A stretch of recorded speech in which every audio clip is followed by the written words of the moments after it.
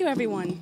Um, so I am very excited to be here, and I must say that today very much lived up to its um, name. I have walked away inspired, and that's not a small feat for someone who works around the world with companies, uh, you know, developing new technologies and new business models. Today, I wanted to give you a little bit of an overview of the company's perspective because uh, as the Global Compact, we work with companies. We're the UN arm that uh, works with companies to in, engage them in responsible business practices aligned to universal principles in the areas of human rights, anti-corruption, environment, and labor. And for the last uh, three years almost, I have been leading our work on breakthrough innovation. And that looks at how companies come together with other stakeholders to evaluate disruptive technologies and new business models and build solutions that express their contributions to the SDGs. So what I wanted to share with you uh, is a little bit about what companies are doing and how we're thinking about the SDGs broadly. So one thing you will learn about me very quickly is that even though I run a disruptive technology program, I am prone to a lot of technical difficulties. So. So, um, so from our perspective, the SDGs really, if we're looking at, uh, you know, corporate actions to advance the SDGs, you know, we like to talk to them about SDGs are not a CSR, a corporate social responsibility agenda. They are um, the most comprehensive articulation of human needs in the world, and thus they are your roadmap to creating long-term sustainable value for your company, for your shareholders and stakeholders alike. So what we try to do is nudge companies to move out of this CSR space because as many speakers mentioned today, business as usual is not going to get us to the SDGs. So I share with you some research here that's been done by the Business and Sustainable Development Commission, uh, their report, Better Business, Better World, which I highly recommend reading, was launched in 2016. And they've done extensive research on the Sustainable Development Goals and what are some of the market opportunities that are uh, aligned to the uh, Sustainable Development Goals. And so they found that if the SDGs were achieved by 2030, it would unlock $12 trillion annually in market opportunities in four economic systems uh, food and agriculture, cities, energy and materials, health and well being. So, when we look at where these opportunities stack up, and they've also found that in creating, in achieving the SDGs by 2030, that will also generate 380 million jobs globally.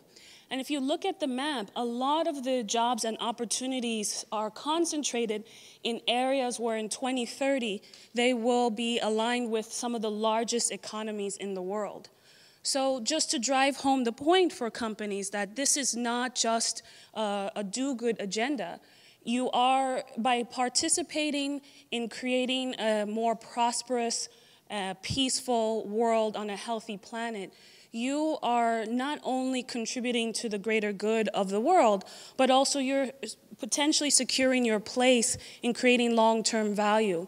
Really important because, as we learned um, from Nicholas early this morning, uh, the lifespan of many companies is um, shrinking. So I think a publicly traded company can expect to be in existence now in 12 years only, as opposed to in the 60s, 40 years. So once again, we're, we're saying that this is your roadmap for long-term sustainable value. But that said, the, the Sustainable Development Goals are an exponential agenda. And why do I say that? Because we, when we look at many of the goals, whether it's goal one, no poverty, or goal two, um, no hunger, that requires the transformation of the state of billions of people around the world in short order. We have 12 years to get to, um, you know, the state of almost 4 billion people in uh, poverty or no hunger down to zero. So the global goals are uh, an exponential agenda, and for an exponential agenda to be achieved, we need really bold solutions. So that's our um, that's part of our, our overarching narrative, where companies can play a role, a strong role, in um, you know creating this world of shared prosperity, a thriving environment, and peace. But they can't do it with business as usual. They really need to uh, raise their sustainability ambitions, as all of us do. We need to raise our ambitions in what we seek to achieve. So when I say what does um, raise ambitions mean for companies, that's where our work on breakthrough innovation comes in. So for companies to contribute to achieving that exponential agenda that the SDGs present, they have to reframe their conceptions of what's possible and engage in what we call breakthrough innovation. So breakthrough innovation for companies are aligned to three pillars. One is embracing new mindsets. So it's really thinking about how do you make things 10 times better as opposed to 10% better. Um, how do you love the, the problem, not the solution? So I think that also ties into some of the discussion we had at lunch in applying a gender lens to um, your innovation rather than going into a community or going to a group of people with a pre-made solution, loving the problem so much so that you're immersed in the challenges, immersed in the opportunities, and you're co-creating with the end user of the, of the solution. So then we look at um, designing and testing new business models because in doing so, that accelerates the accessibility of the solution.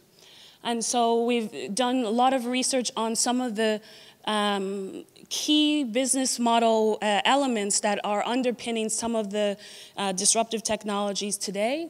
And then naturally, it's deploying disruptive technology. So, taken together, this is the way companies can accelerate their, um, their sustainability ambitions as well as um, accelerate their contribu contributions to the Sustainable Development Goals. So I wanted to share some examples with you of how companies are heeding that call of raised ambitions. So um, we've worked, the Global Compact works with 9,000 companies around the world in 160 countries. And what we're seeing is that, first of all, this revolution in terms of um, raised ambitions, accelerating progress on the Sustainable Development Goals through uh, the application of disruptive technology and new business models are entirely being led by startups. So many of the startups that you have engaged in engaged with in the room are leading that, that charge. And they are the catalyst for inspiration and, and raising the bar for what's possible for companies. So I introduced one startup with you, uh, to you rather, called Kimetrica that's working directly on SDG 3 and is using artificial intelligence um, embedded in mobile phone applications to diagnose malnutrition in young children.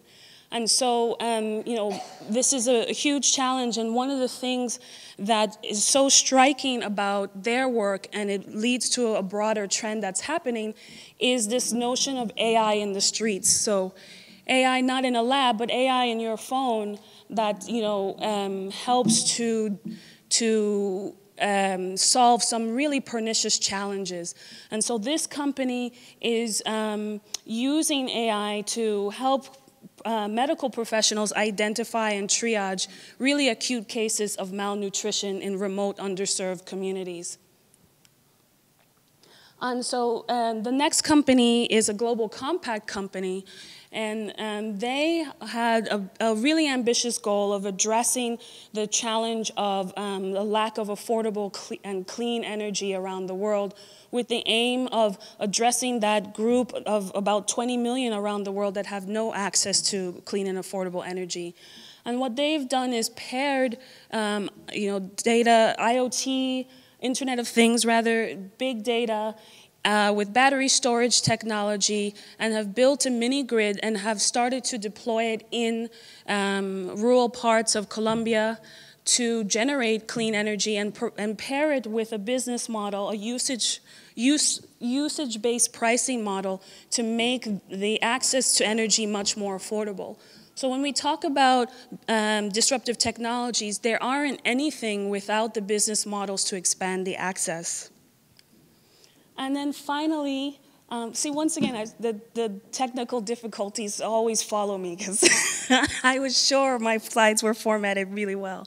Um, but that said, uh, another company based in Portugal, an engineering firm that focuses on autonomous mobility, is looking at a block-based, a blockchain-based low-carbon mobility system. So globally, around 15% of greenhouse gas emissions come from uh, transport systems. So what they're doing is basically um, developing a block-based, block, blockchain-based token called the Air Credit to promote the use of low-carbon transport systems um, so riders that use this system actually get credits uh, for the CO2 that they have uh, avoided, effectively putting a price on carbon.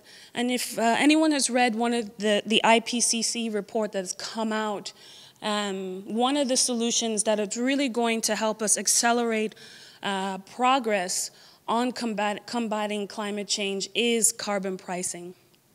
So I wanted to share those examples with you to um, really inspire and to say that um, all of us in this room, whether we're companies or organizations or um, city or representative policymakers, have a few things to do.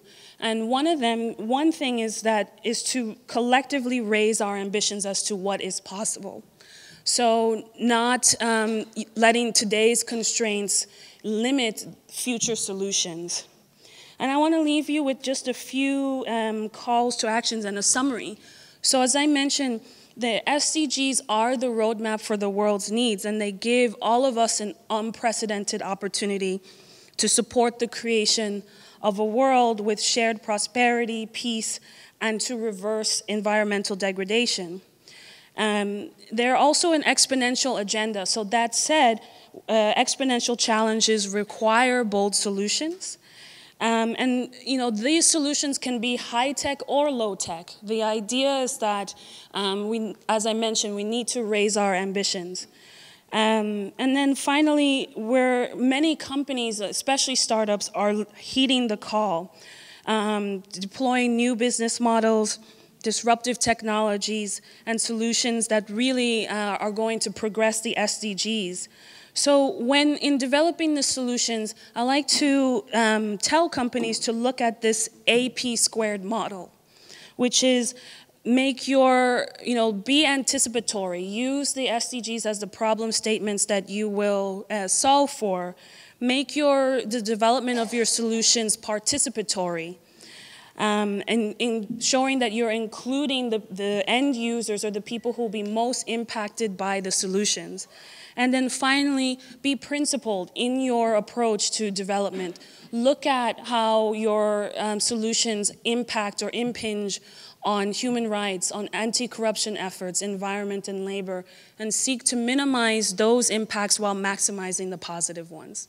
So thank you so much for this opportunity to speak today, and I look forward to um, the innovation revolution for the SDGs continuing.